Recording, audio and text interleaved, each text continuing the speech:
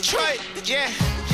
What you know about locks? No dreadlocks. What you know about locks? Antennas. Yeah. What you know about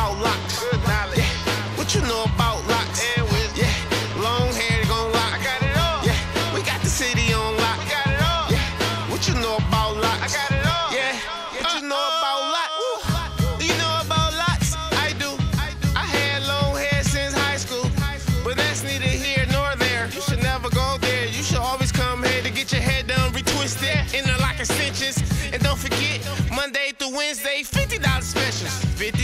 Yeah, I said $50 specials. $50 specials? And if you don't believe it, yeah. you can call King and it's to make your perk. Send appointment. Yes, we shampoo tennis, put color on it. It don't matter how you want it, you know you're going to get